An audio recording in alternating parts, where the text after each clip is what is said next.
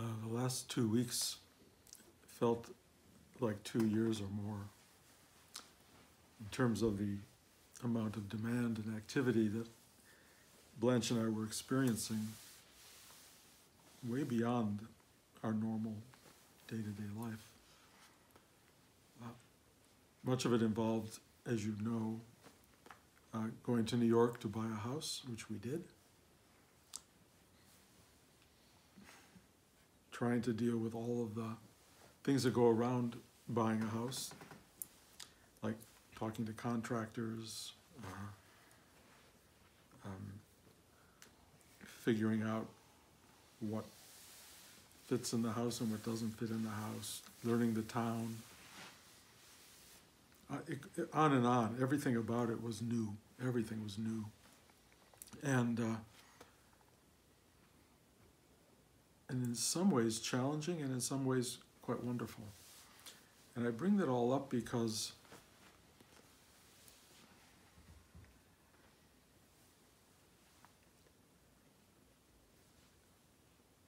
much of what I'm doing here is perceived of and presented as a spiritual teaching. So, what does that have to do with buying a house or selling a house or two houses all of what we're doing? Well, I, I refer really to Rudi's line this is your spiritual life. It's not somehow removed, it's not somehow elevated, separated, transcending of this. It is this. And when your life is being uprooted from its norms, when things are changing in very big and fundamental ways, you have to draw on something to make it possible to maintain some kind of grace while this is going on. It will not always be possible. But it is something Rudi called work. The work of spiritual life is to take the tensions and the dramas of day to day existence and transform them into something greater or higher or more noble, if you will more real. And this last few weeks has been a level of profound teaching for me. And and not always uh, what you would call benign or holy. it was a lot of work. I'm grateful that I have work. I'm grateful that Rudi taught me ways of being in the world that allow you to go through times that are challenging. We all have wonderful times where life is predictable and knowable, and we go through our day to day life in a way that is uh, not all that hard. You get up, have breakfast, go to work, do your work, come home, have dinner, watch TV, go to bed, year upon year upon year, and it's fairly easy. Yes, things go wrong, the car runs out of gas, the television doesn't work. I mean, things happen in life, but the big changes, the upheavals that can happen in life are, are always possible, but not always happening. But I will tell you, as you move toward the end of your life, they will be more available. Things will start to happen. And so I sit here almost weekly and document a journey that may be for you in 10 years or 15 years or 20 years. It may serve you now and it may not serve you at all. And um, I always say to people if this doesn't speak to you, find something that does. But great lessons occurred to me this week that I want to share with you because I think they work at all times. One is that I was having a very difficult process trying to figure out how to live in this new space, how to leave the comfort zone that I have been in for so many years, how to become a different person, how to let go of all of these things and people that I love, including every one of you, how to move on. It's not exactly dying, although it feels very similar, I think. And so, as you move through this process, you are kind of looking for signals, signs, guidances that help you move through. And what was happening in this trip, which was so sweet and so beautiful, is that those signs come unbidden in the subtlest and simplest of ways, and either you're paying attention or you're not. Here was the big one. We're at the airport, flying to New York. I am not in the most content of moods. A woman walks toward me with a t shirt, and it says, God exists, relax.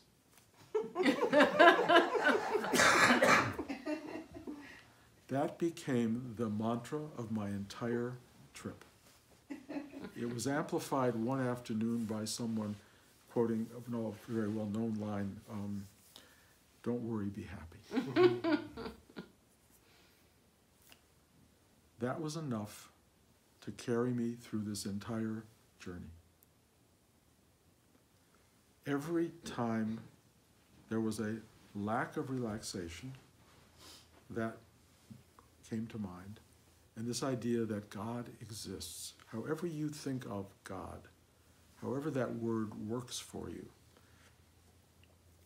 I will tell you that I have never had a problem with the word or the concept or the magnitude of possibility that the word God means for me. I have never had a problem personalizing it, even though I know it is something bigger than personal. But I know it also manifests within the personal and can manifest on a t shirt on a woman walking through the airport. My early LSD experiences, which I have talked about before, showed me one thing that we live in a multi dimensional universe and that the plane of existence most of us inhabit is minuscule compared to where we truly are. The vastness of what we inhabit is so massive, so beyond comprehension on any level. And you can call that infinite time space continuum, this loving, indifferent, wildly personal connection to something so beyond us, whatever you want to call it. I find the word God works very well. I know that I, this Bruce guy, is wildly connected to the God principle, to the God manifestation. And I know it has a direct line to my personal day to day, moment to moment, minuscule, unimportant activity, and as much as it does to my larger awareness that I am walking through holy terrain at any moment. Knowing that was a gift of a drug, of LSD in the 1960s. I could not sustain that knowledge without taking the drug more, but that seemed to me to be not the way to go. What the drug did was open me to a doorway to awareness that I discovered had been addressed by multitudes of spiritual traditions over the course of history. They all described exactly what I was talking about, exactly what I had seen.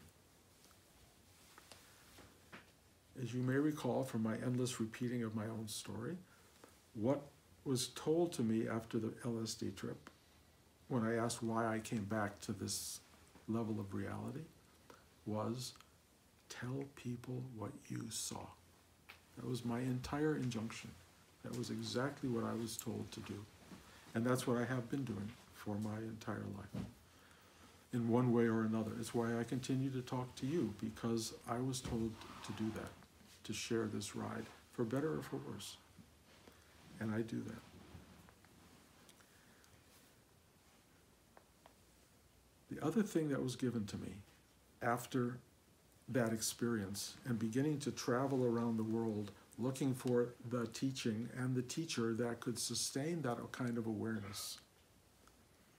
And not finding anybody on my year and a half trip through Asia and Europe and looking and looking and meeting people. But as you all know the story, I returned to America and I discovered four blocks from where I lived this man, Rudi. And Rudi was a teacher. And the thing that happened with Rudi, which I find so phenomenal, is I would sit with him and he would look at me, and this multidimensional awareness expanded.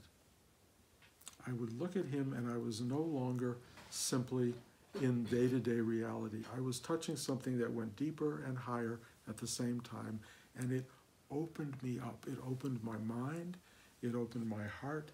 It opened my ability to speak to people, which I was been told is what I was supposed to do. It opened my gut, which told me how to kind of intuit my way through the world. It opened this sexual space, which was really about recreation and rebirth and renewal. And it opened the base of my spine that allowed these energies to go up and over and circulate through me. And it allowed all of these centers to start to become integrated and whole and I felt more and more like a whole person. After 44 or so years of doing this practice, long after Rudi was gone, finding that it still nurtured me, it still opened me to a multidimensional universe, something happened, and I thought I had failed, that I hadn't gotten there I, I didn't know what there was, but I felt I hadn't arrived, and I stopped sitting. And again, forgive me, I know this is old information, but within two weeks of giving up trying to be open and available and cosmically awake, let's say, the doors of the world that surrounded me fell away, and there was the, that massiveness of being and I was a tiny instrument in the middle of it. It was just vast. And like I've said before, I thought I had arrived at something. Bruce had become a minuscule part of something great, which I already knew, but this was now like the new reality. But every so often, this thing called brucing would arise, which would become very egoistic, very about me, the biological, the physical person, and I would feel pain and I would feel fear and anxiety. I knew a lot of it was genetic because I come from a family of warriors and sounds like warriors, but it's warriors. I, I, I come from a family of anxiety ridden human beings, and I know I have inculcated much of that in my system. And I would feel I am this vast thing and I am this worrying thing simultaneously. And I didn't know quite how to be that. And then I would experience, and this would happen once a year specifically, and today is the day where it happens the day of Easter, the day of resurrection,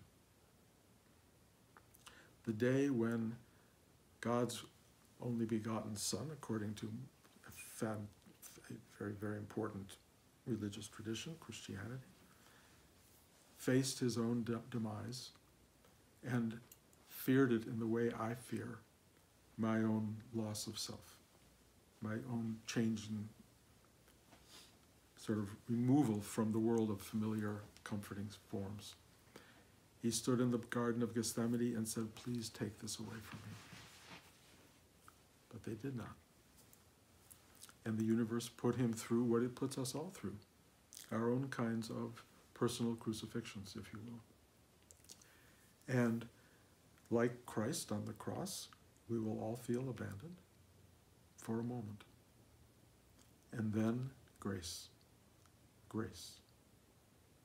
I don't know where grace comes from other than the very source of being itself. I don't know why it's withheld, but it is. And when it returns, it becomes forgive them for they know not what they do. And you feel transcendent of the person you have been, that the walls that are closing in are now falling away again, and you feel an increased openness that you never knew was possible. I don't know if this is a repetitive pattern or if it's a singular thing that goes on, but I know that I go through these periods of great contraction and in periods of profound loss, change, transformation, alteration. I, I ask them to take this cup from my lips. And what they do, they, the plural of the singular God form, the universe itself, what it does is it sends a woman walking through the mall with a t shirt saying, God exists, relax. And that is a lesson I have been working on waking up to my entire life. That is a message one needs to hear. It can't just go walk past you and you go, huh, that's funny. Hmm. That is not the reaction you're looking for. That is to miss it entirely. It comes at you that fast and that unimportantly. You can look at this woman, she was a large woman, she had big breasts, she had this message pasted on her breasts, and you can, I mean, you can get very caught up in the breasts, or you can find the message, or both. But the message came through. And Blanche and I had a really um, remarkable week in the house, making it our house. We went out and bought card table chairs and a table which we could not figure out how to open. But we've got four chairs and we placed them in every room of the house, one after another, and just sat down in each room and said, This is how it will feel to sit in our home. We brought in the security guys, we brought in the man who built the house to tell us how to turn things on and turn things off and make things work. Blanche has a horse that she's bringing. We went to one place, which was about five minutes away. The first woman we talked to said she would love to take Blanche's horse. It was like such a gift.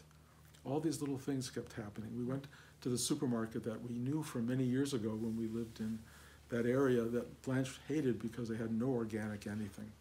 Now every other thing is organic. They had everything we shop for sitting there, except for I love Three Twins ice cream. I thought there was no chance in the world that I will find Three Twins ice cream, but I Googled it, and they have it at the Rhinebeck health food store.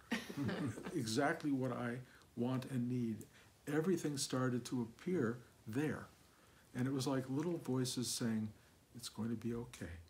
Relax, relax, relax. Of course, some bigger things occur.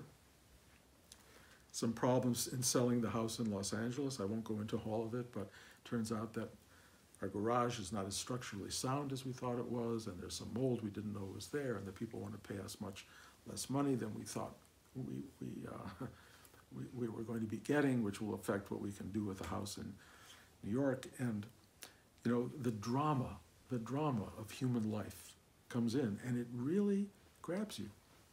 It really grabs you, and you, and I, and I, you know, I thought, ah, this is really hard. This is really painful. We're not going to be able to do all the things that I want to do. And this little voice kept coming back. God exists. Relax.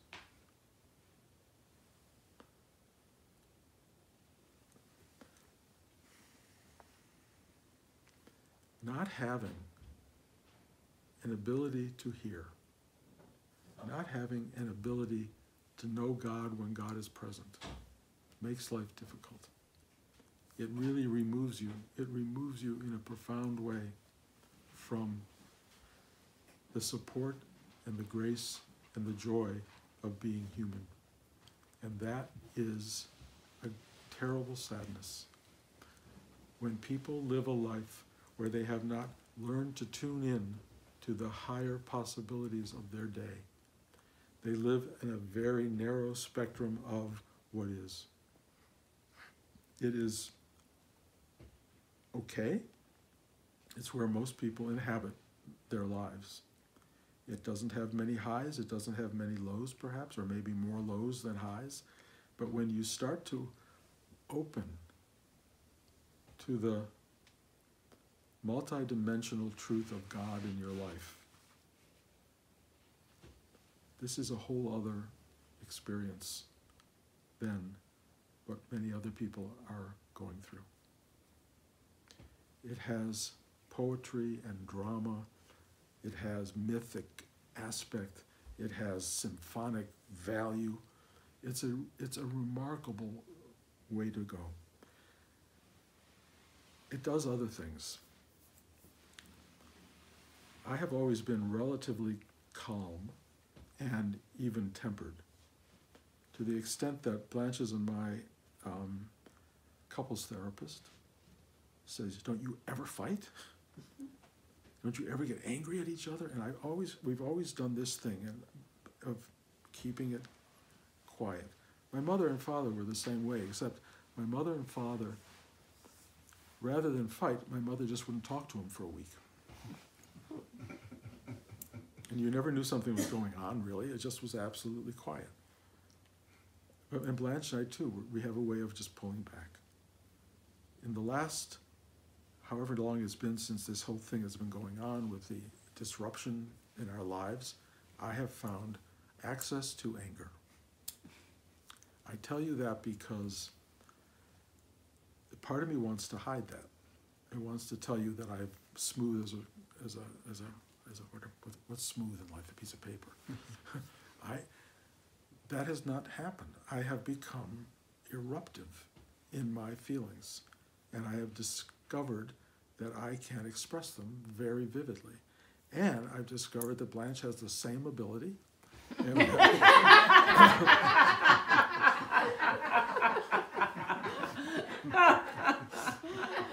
and we really can go at it which is proving to be one of the healthiest things that's ever happened in our marriage. It is really bizarre, but it is so real and so open and so honest and so dynamic and interactive that when it calms down, which it usually does because Blanche calms down first, when it calms down, we find ourselves um, holding hands in a way that is deeper and more touching than it has been before. There is a sense of we're in this together. We're on this journey together. And there's a kind of joy and beauty and fear because we're getting old and we're starting to see that kind of we're all we have. And at one point, one of us was going to be without the other, and that's becoming very vivid. I wrote to our couples therapist the other day to wish her a happy birthday, and she wrote me back and said, thank you, I've never been more terrified in my entire life. because she is aware that at the age of 77, you can count the years that remain. Six years, eight years. It's a shock to the system, and that's kind of what we're going through. We are going through this movement toward the end the Garden of Gethsemane. It is not totally pretty, but we are going to make it as nice as we can make it for the time that we have. And all of this that I'm describing, which sounds like day to day real world stuff, is really, um, I'll say, softened, imbued by, uplifted by years of spiritual sitting in multidimensional space. I know people who just fight all the time. And there's nothing transcendent about it. It's just ugly and awful. And it's really scary to watch. I know people who never express their true feelings. I know people who haven't even gotten to fear yet or who have, haven't gotten to the fact that life has duration and maybe meaning and content and who knows, some kind of evaluation. That life is, for many people, not even a question mark. It's just, it's, it's life. This is life. It's life. You hear that all the time. Oh, it's just life. I never have understood that.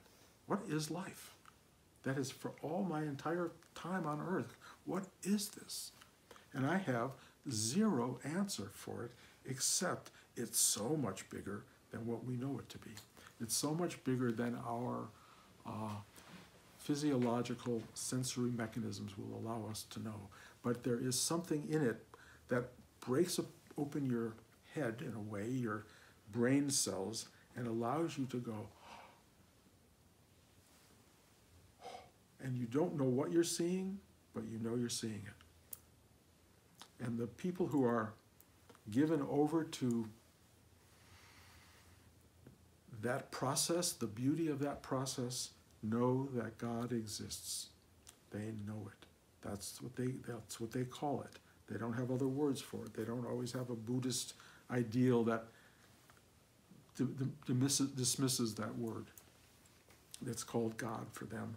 And for those people, they walk around with t shirts that say, God exists, relax.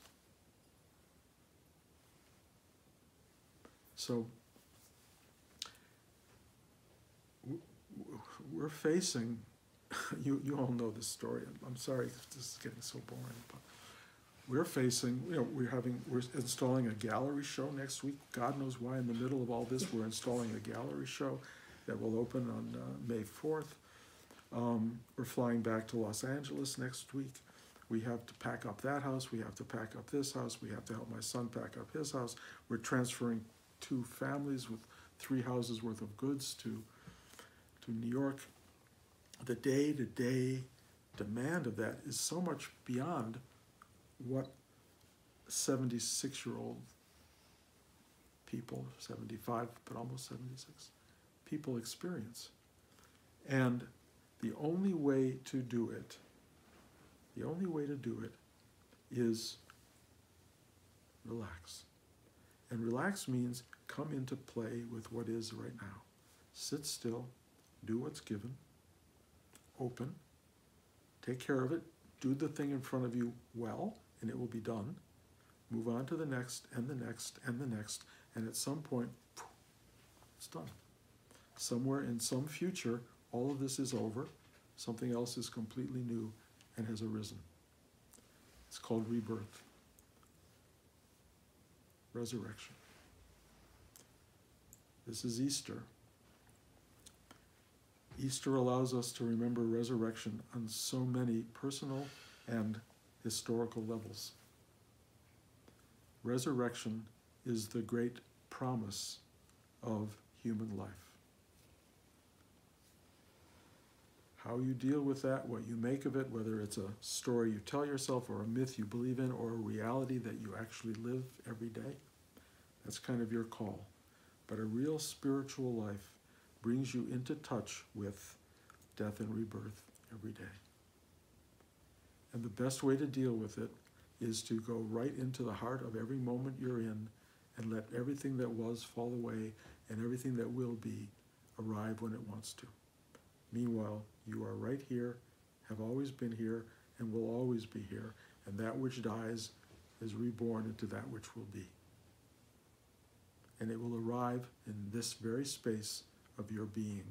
And if you're open, big hearted, loving, and available, honest and real, it will be transformative, uplifting, renewing, reviving, and ultimately it will give you an endless sense of rebirth in this universe over and over and over. The promise of that came from Christ. The promise of that comes from just sitting in your own heart and seeing that it's true. So go into your heart. Find your way into this space because it's a doorway into the infinite. Find a way into stillness that allows you to penetrate the density of emotionality the density of hard heartedness and fear and all of those things, allow yourself to relax that part of your being, relax it deeply, enter inside, and you will be renewed by that faith and that experience over and over. And when you're not allowed to be renewed, it's only because they're taking you to a different level and you're gonna go through a real sense of help me, I need help, and it will come from another dimension. We're all on a big ride. We're all on a big ride. Some people know it, some people don't. You who are listening to this, who are sitting here now, know that you're on it or you wouldn't be here. You, you know that there's more to life than whatever it is you think it is. You know, it's not playing golf. It's not about that. So I share all this with you, hoping that it documents on some small level a personal journey of a seeker and his wife, another seeker, moving toward an unknown that is truly bigger and more demanding than we have been exposed to before. Willing to know that it represents something that is more ending than anything else. I mean, it's easier to make changes when you're moving to an, a new beginning, but when you're moving to an, a new ending, it's different. And the, finding the grace to do that, maybe, maybe these talks will give you some guidance along the way. And if not, what can I say? Anyway, love to you all. Um, next week, we're in LA, back here the week after, and we will continue this for as long as we're. Any questions?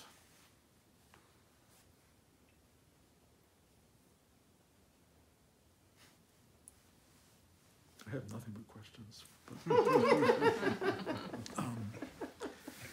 Um, I won't bother you with them, but uh, I really deeply am grateful that you guys show up. It allows something to emerge and possibly to take root. And uh, and I get notes from people who are listening, who people I've never met, for whom some of these words have proven to be meaningful.